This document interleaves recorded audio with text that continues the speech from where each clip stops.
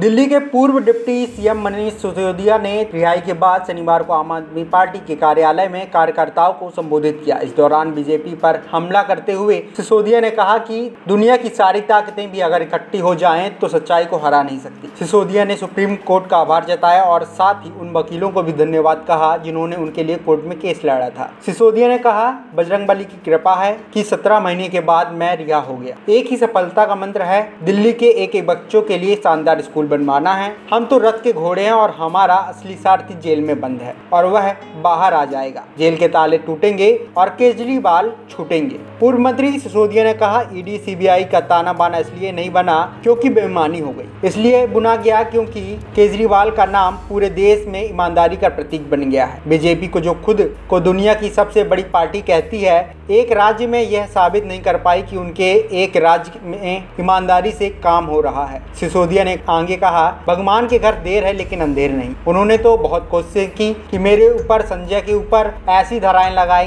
कि जो आतंकियों, ड्रग माफियों पर लगाई जाती हैं, ताकि जेल में सड़ जाएँ। लेकिन आपके आंसुओं का असर है। कि जेल के ताले पिघल गए। बजरंग बली का आशीर्वाद है कि मैं आज आपके सामने हूँ। आज पंडित जी ने बजरंग बली की तरफ़ से आशीर्वाद दिया है विजयी बाबा। मनीष सिसोदिया ने कहा कि बीजेपी की एक ही विशेषज्ञता है। वह है कि नेताओं को तोड़ने, सामदंड भेद कर उन्हें जेल भेजना, उन पर हमले करवाना, लेकिन उसके बावजूद एक एक आदमी टिका रहा और न टूटा और न झुका। सिसोदिया ने वकील अभिषेक मनु सिंधवी का आभार जताते हुए कहा कि उनका धन्यवाद करना चाहता हूँ। उन्होंने बीजेपी के झूठ का पर्दाफाश किया।